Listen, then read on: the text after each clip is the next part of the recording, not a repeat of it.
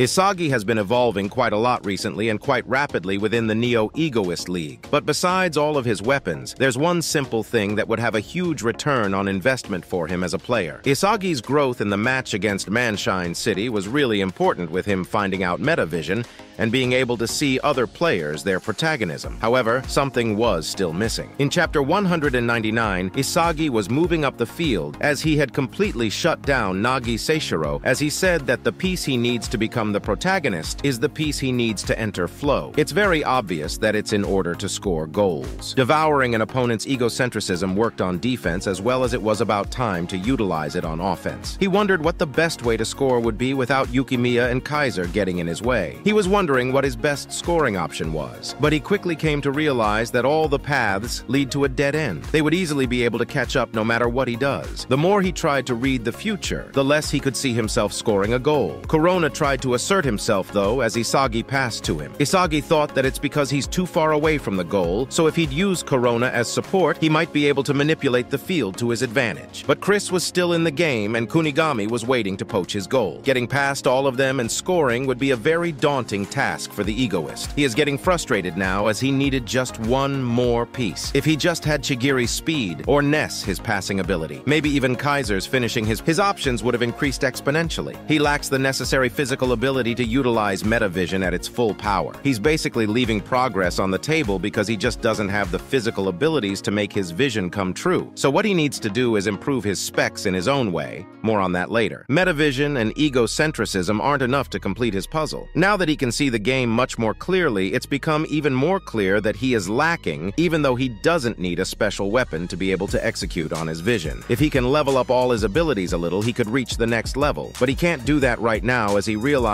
that he's too weak as he really wanted to practice. And the only way he got through the pack was through the help of Noel Noa, as he reckoned that Isagi had the best rationality out of everyone on Bastard München. His creativity skyrocketed because he was with someone who could execute his vision. In Chapter 208, Isagi Isagi was practicing hard with the other Blue Lockers as he had to score in the next match against Ubers to prove that he was worthy of his own system within the team. He was in a conversation with Hiori as he told him that metavision is like using your peripheral vision so that you can scan and read the entire field while he's on and off the ball. It's kind of an extension of that reflex thing that he talked to him about. Although he realized that the major drawback is that it drains his stamina like crazy. Hiori reckoned that it was amazing, but his movements couldn't keep up with his thought process at that time. Isagi confirmed that to be true, as that's why he's training his body so that it's able to keep up with his vision and playmaking, which is exactly what I was talking about. From the outside, looking in, it looks like Isagi has been evolving at an explosive rate, but from his perspective, he's just steadily leveling up. Every single weapon he has in his arsenal is kind of a boring evolution, but he thinks that that's what growth is all about after all. But in that last match, Hiori noticed that his playmaking and movements were off the charts. From the bench, it was like he was manipulating every single player on the field, and that egocentrism was why he was able to perfectly read everyone's mental state. So it's kind of obvious that Yuki felt that he was a godlike game master on that last play. Isagi realized that it was the same feeling he had when he first went up against Rin in the second selection, and on top of that, he did that in the Neo-Egoist League against the world's best as he realized that he might be ascending to the next level. If you're enjoying this video so far, consider subscribing.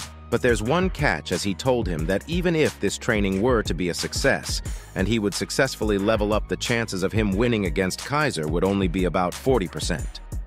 But he doesn't feel like it's good enough as there would be no point unless his chances of winning are 100%. In the last game, he was only able to play freely because he had Noa to support him as we've seen. But he wouldn't be able to become the world's best player if he continued doing that even if he were to use metavision to read everyone's egocentrism and play a perfect game. Now it's cool that Isagi has realized that he needs to find a way to score, but what Isagi didn't take into consideration that much is his way towards the goal, as he still needs to be able to make the plays he wants with a strong body. In Chapter 213, Isagi has just scored his first goal in the Neo-Egoist League through a lefty shot even though Ness tried to take him out of balance. We find out that he went to Kunigami as he realized that his weakness is that he could only shoot accurately with his right foot. But the problem with this is that he still hasn't fixed the root of everything, which is the lack of physicality. There is one catch to this, though, as Kunigami told Isagi that it would be meaningless to copy him, as their body types are totally different. If he were to bulk up in the wrong place, his body balance would go out of whack, which would deteriorate his performance. So he can't just bulk up and have a body like Noel Noa or Kunigami, for that matter. Later that chapter, Isagi found out that Bachira and Chigiri made minor adjustments that further maximized and enhanced their strongest weapons. So maybe there's no need to change everything as he was too hung up about being two-footed. What he really wanted was a customized weapon for his left foot. While he continues to level up his primary weapon, which is the direct shot, he just needs a secondary weapon that complements it.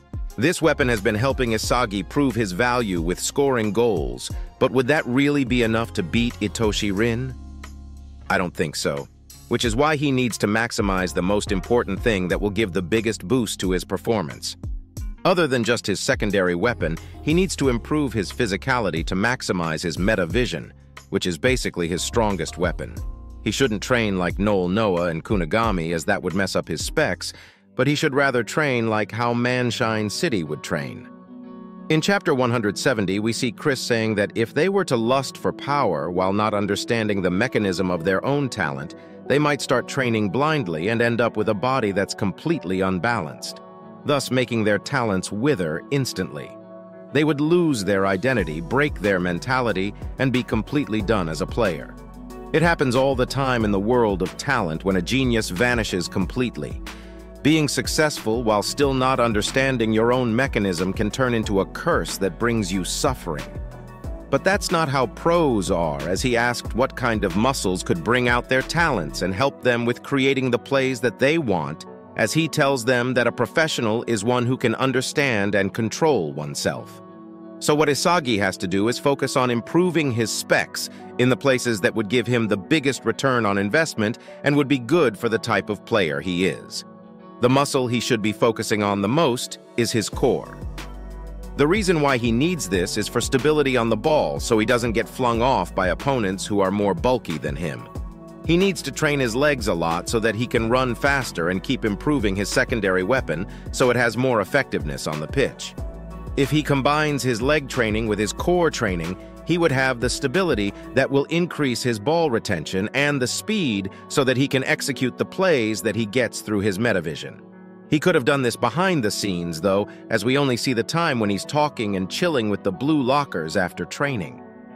And this might be something intentional from Kaneshiro, as he'd like to hide his growth until their match against PXG, so it makes sense why the Ness backstory came first.